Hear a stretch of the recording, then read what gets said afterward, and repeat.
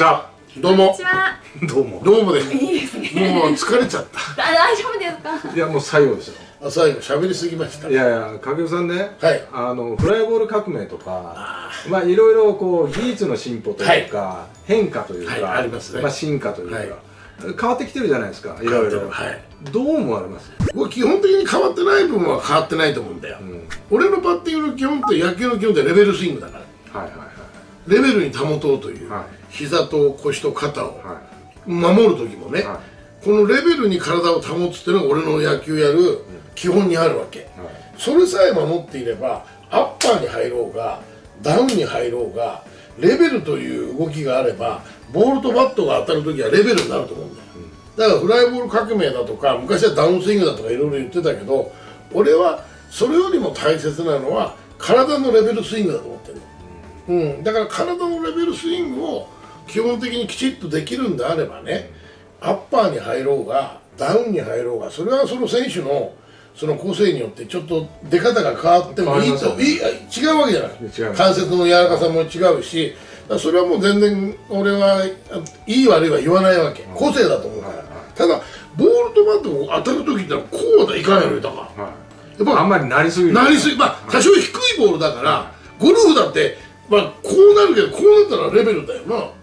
掛布さんあんまりゴルフは語っちゃダメ。いやでもね低いいや低いところ打ってこうなるのはまあしょうがない。いやしょうでもがないですよ。でもそのゴルフの T がここまで上がったらね、こうなるよね。なりますよね。レベルに、はだから俺基本的にはレベルスイングっていうのは基本だと思うんでそれにいろんな変化があっていいと思うんだけどこのレベルスイングに変化はないと思うね、うん、あの王さんがんよくこう日本刀でダウンスイングだダウンスイングだって言うけど王さん実際打ってる時はアッパーだアッパーですよね。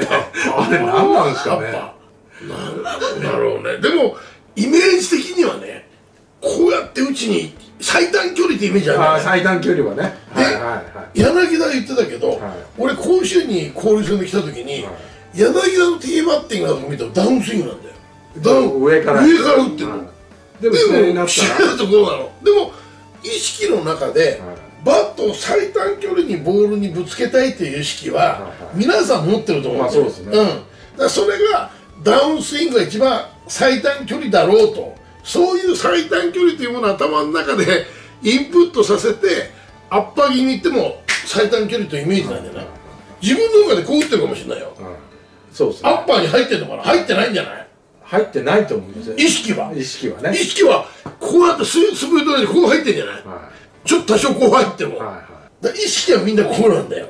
掛布さんはどちらかというと張本さんによく似てて本当に綺麗なレベルだったレんですねねそこがちょっと長いよね。長い。俺のレベルがインパクトゾーンがね。ゾーンが長いんですよ。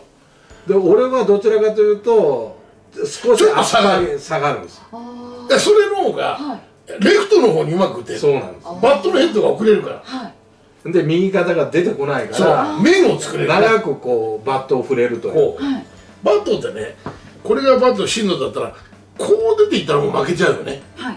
こうだからできるだけ見せたくないわけ。うんうんほんで豊かのように幅広く打つためにはこの面を崩したくないんだよな。はほんでちょっと下げた方がい長く保てる。長く保てるんだよね。あそれぞれにあるんですね。あるある。選手ごとに。だからよく僕コーチに言われたんですよ、お前もっと叩けとか。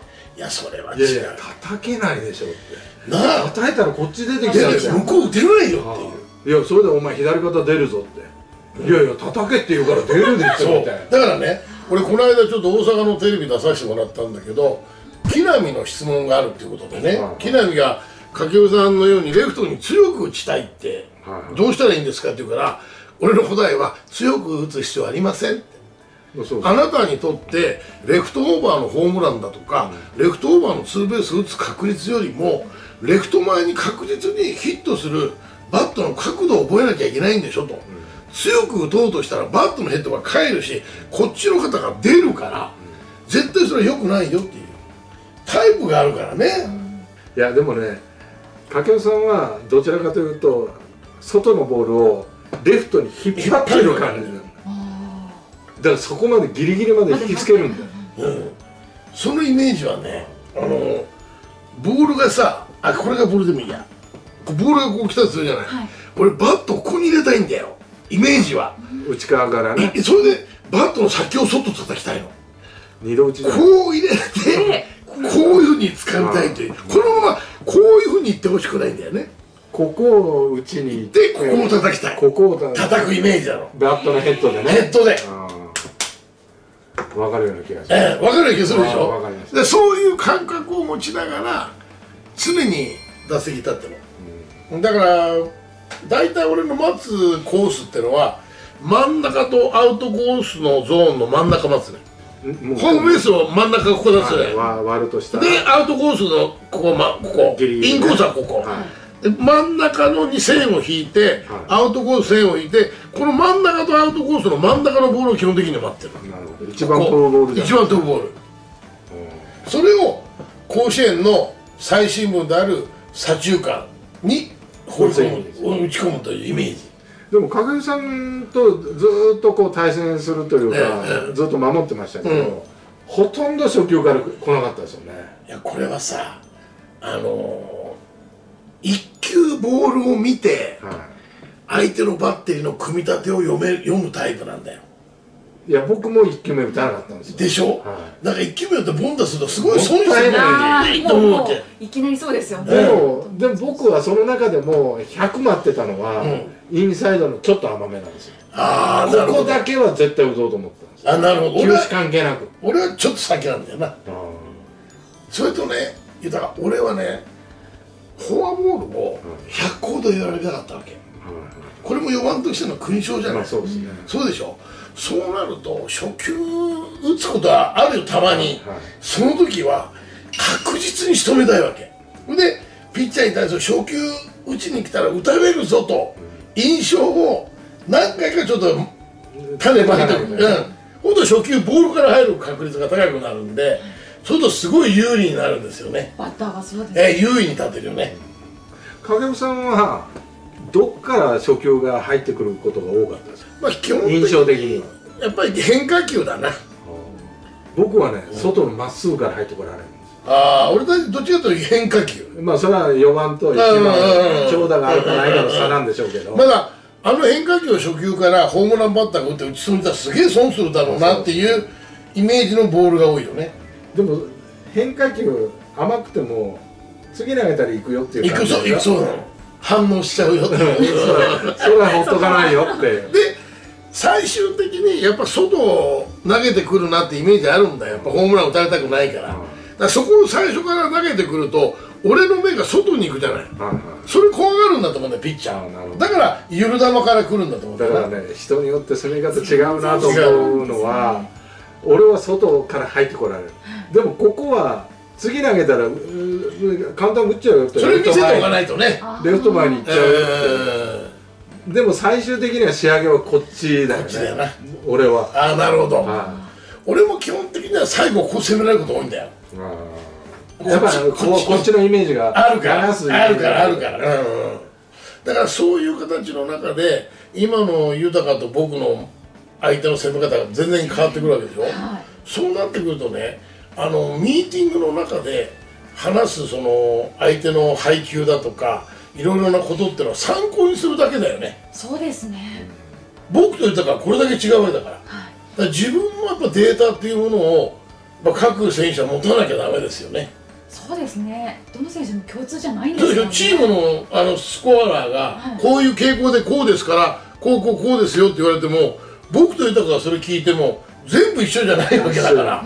それを聞いて自分の中で考えないとな、だだからこうかもって書いてるやつが全部みたいそうそうそう。そうこかもって。そうそうそうそう。お前かもかもかもかもって書いてるけど自信持って書いてくそうれってそうそう最後に。最後。カモみたいな。そうそうそう。攻めてくるかもこれかもそうそう。そう困りますよね。困る困る。どっちよっていう。うん、だから自分でやっぱ責任を持たなきゃいけない。からやっぱり自分のデータやっぱちゃんと単調持っておかなきゃダメだよね。だからそうなるとねあの僕が4打席仮に対戦するピッチャーが僕に対して4打席で使うボールがまた20球1打で5球ぐらい使ってくるわな、と20球だとするじゃないですか。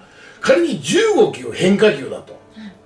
で5球がしかストレート投げてこないとそうするとね15球の変化球を待てっていう人が多いんですよ。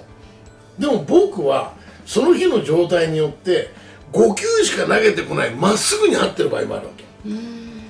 その時はスコアラーだとかコーチに言われてもいや僕はそれを待つよりも数少ないストレートを打ちに行った方が打てる確率が高いので僕はストレートを狙いますってまあ、大体ね昔のね4番の人って初球からいかないっていうのは、そのピッチャーの勝負球を最初に仕留めたいっていう。ウイニングショットをねね。